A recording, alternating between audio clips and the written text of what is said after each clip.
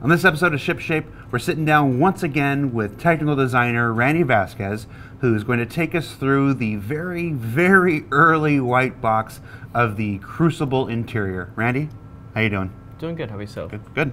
You ready to do this one more time? Let's do this. All right. Today we'll be looking at the Crucible, and kind of you can see right here, um, this is the kind of overall layout of the Crucible itself. so let's actually get you in. Actually, let me just to this real quick.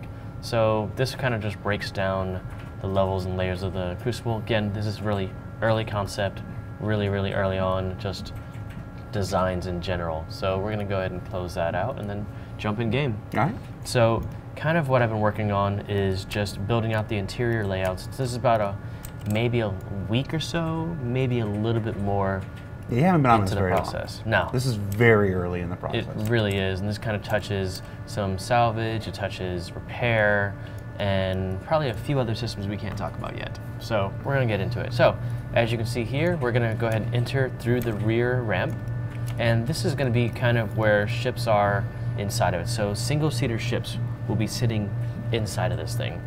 Hornets, Gladius. Yeah, things like 300i. that, smaller ships that can be repaired internally. As you can see, as we first enter into this area, we have some we have some cargo, we have where equipment would be, we have some cranes and everything set up so that way like arms can come out and kind of operate in that area. Okay. So as we continue through, we can see that like, you know, we have some uh, repair pumps, we have some fuel pumps, we have coolant pumps, so anything that ship would need to also help with refitting and resupplying. So that will also be a function of this type of ship. Okay. Now, since they're going to start on the bottom, we're going to look at kind of, we have some components on the sides, we have some airlock entryways. Basically, every single entry into the ship from the outside is going to be um, an airlock. Just Okay. because being a repair ship, they need to be able to get in and out of the ship at any time. So you'll also be seeing a lot of personal storages around the area, so that way they can put on suits and have equipment right there and they can re-equip right before they exit the door. This work area has, it's not open like this. It has doors. So Yes, it'll so- actually be enclosed that can actually open up as well. That's just another reason for the airlocks, because yeah, exactly. All right. Mm-hmm. Yeah, some of this stuff is going to be actually open to space, while others are not going to be open to space. And we're still very much on designing a lot of the exterior as well as the interior at the same time. It's actually been really cool.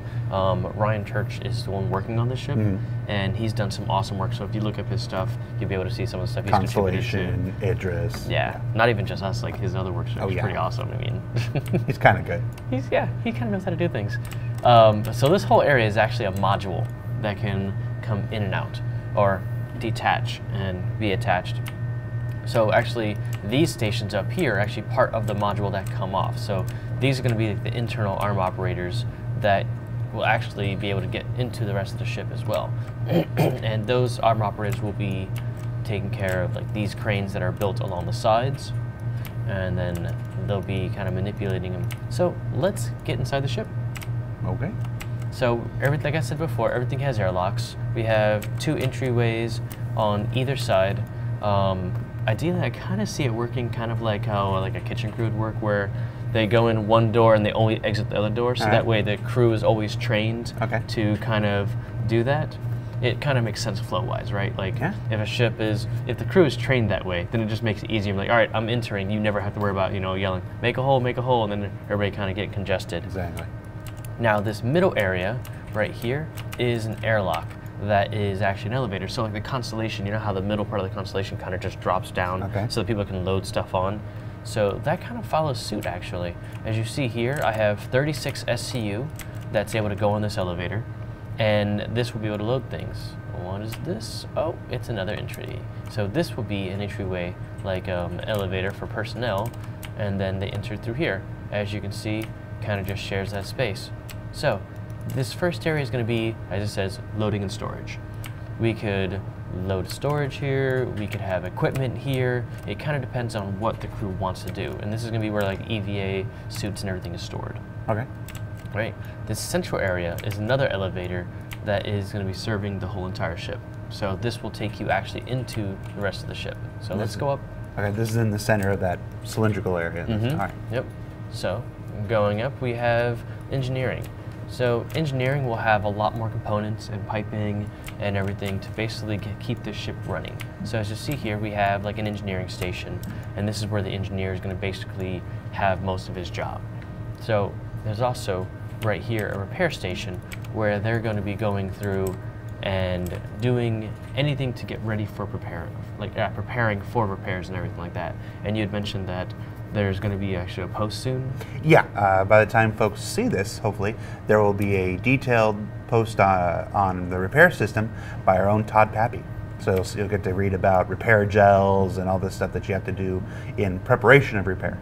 Nice. So that's what this station's for. So in engineering, also it connects through LX again the internal arm operations, and I'm kind of just going to show both sides to show that they both kind of feed into this kind of this area is meant so that you can get to multiple parts of the ship multiple ways. Hmm.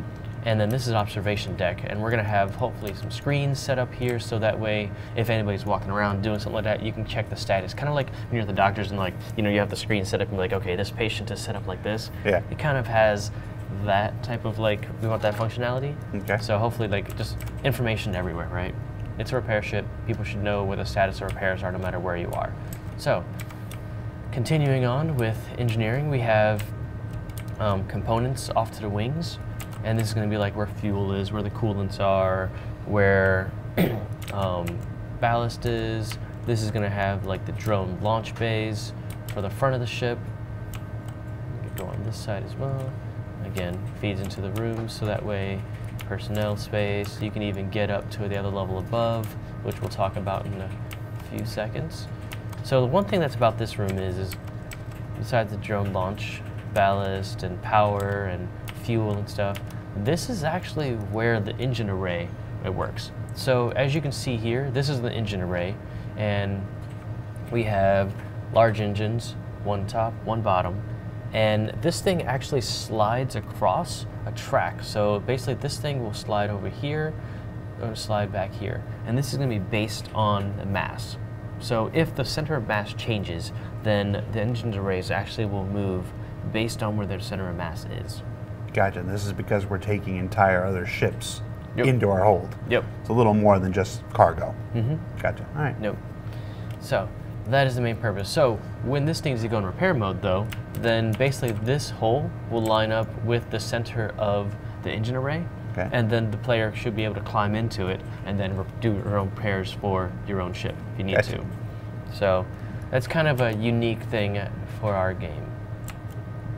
We're not going to talk about drones for a while because that's going to be in another doc. So let's, you know, instead of going to the elevator, let's go ahead and go up here now. So basically, we're up here now, and don't worry, a lot of these things you won't be able to see in the real ship. This is all just very much early on white box stuff. So This is about the earliest white box you can have, guys. So Yeah, you, want, you said you wanted to see how the sausage was made. this, this is as early as the sausage is being made here. So this actually goes into the crew quarters, and two crew members would be sleeping in this area, and you know just some lounge, little lounge area for their own. And then you know, if they want to read a book, they don't want to lay down or something like that. But each individual cruise pod will be its own dedicated escape pod as well. So if catastrophic failure happens, then they're able to jump in there and kind of get out of dodge. So this is the crew common area where you know they would cook meals, they would eat, store food, kind of have like a little lounge where they can just chill and chat and stuff. Um, bathroom, showers, all that stuff would be in this area right here. And then on the other side, more of the same. That way I kind of keep it separated a little bit Yeah? so they can kind of have some privacy, but then still have like, you know, dorm mates. so let's go up to the last floor, which is the bridge. Okay. All right, so now the bridge is unique, right? In that it is meant to actually rotate. Okay. So we're still figuring out the designs, whether it's going to be the interior only rotating, or if it's going to be the whole entire top part rotating. And the reason why this would be rotating is we have three crew members up here, right? And each crew member can kind of change what they want to do on the job, right? So like the middle seat would be the pilot seat, dedicated pilot seat, and the other guys they'd be doing arm operations, um, they would be doing drone operations, You know, so various functions would be handled by the guys on the side, as well as you know one could be a co-pilot, one could be helping out engineering. The engineering station is probably the main station that's doing just that, but then also the engineer would probably go over and take care of um, repair preparations and probably anything else they want to do. Right? Even though this ship is only manned by four people, there's at least seven stations on this thing. Yeah, So that way right. people will need to actually switch around, do different things. So this ship will keep people busy. So you've got the arrows on the floor there. I should have guessed it was going to turn around. Yeah, it's one of the things we're working on. Um, so as we said before, airlocks everywhere. We have escape pods here, um, two more over here, so that way the crew can get out if they're either in the bridge or if they're in the crew quarters. So there's always something they can reach, right? Gotcha. So right here, this airlock actually will take them out to this area right here. So if there's something they need to get to really quickly, they can EVA out, and this is right on top of the observation deck. And again, they can kind of EVA out again and go down to different levels. People like see kind of swarming all over the place and kind of just going from there. So we kind of wanted to keep that as in it is a repair ship. It is meant to be entered and exited quickly, to be able to get to different areas, different levels really easily on based on what the needs of the ship is. Very cool. So, um, I think I think Ryan had talked about things where these the seats themselves are actually going to be on tracks. So based on what is happening with the ship, then basically you get better visibility. So like these things will be moving forward, or these things will be moving backwards. Like there's still a bunch of things that we have to work out Yeah. and kind of go from there. So, and then once these things are turned over here, then this is the view that they'd be seeing. So they can kind of overview everything and look over everything. All right, so let's do something real quick. I want to show you guys kind of, this is what the ship kind of looks like when we have other ships. As you see, I started with some smaller ships, kind of placing them around inside here. I have like an Argo in there. I have some other things like the Constellation, the Retaliator, and we can kind of see with the thing open, these things can fit up to a point. Mm-hmm. And then that's when these arms kind of will unfurl and start doing some of the repair. So, and for even larger ships, drones and these repair uh, arms will be used. Gotcha. So it really depends on the different type of repair that they will need to get done. They'll use different tools to repair it. Gotcha. And so this is why the command you'd want the command module to rotate because when you have such a large ship in here, the existing observation deck, when you you you'd end up looking at the underside of the retaliator there. Yep. So, gotcha. So really quickly, I'm gonna actually turn on this thing so you guys can see, you guys get a good look of kind of what we've been working with and just building up right here. And let's go ahead and turn it on there. So now we can kind of see all of the stuff fitting inside the ship. So we've been kind of rebuilding the ship piece by piece, kind of just based on functionality and where we kind of saw things fitting. very cool. Oh, one thing we didn't talk about was um, the turrets up top. Turrets. So all the turrets are going to be remote turrets. So that way, these excuse me, these people on the side right here, if when they're not doing other things, they can actually turn into um, like you know turret turret gunners, and without switching from their stations. Everything's going to be super modular, as in like people are going to be switching jobs really quickly on the ship just to kind of feed the need of the ship at that time. Very cool.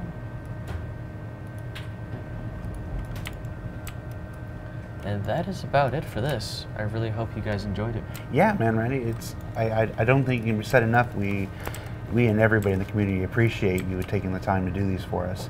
Um, yeah, this is an exciting ship. I think by the time people see this, uh, the ship will be on sale already. Uh, you should have the design doc on repair from Todd Papy. Um, so yeah, it's an exciting ship, a whole new avenue of gameplay, and uh, definitely excited to have it aboard. So Randy, thanks a lot, man. Thank you. All right, back to you guys.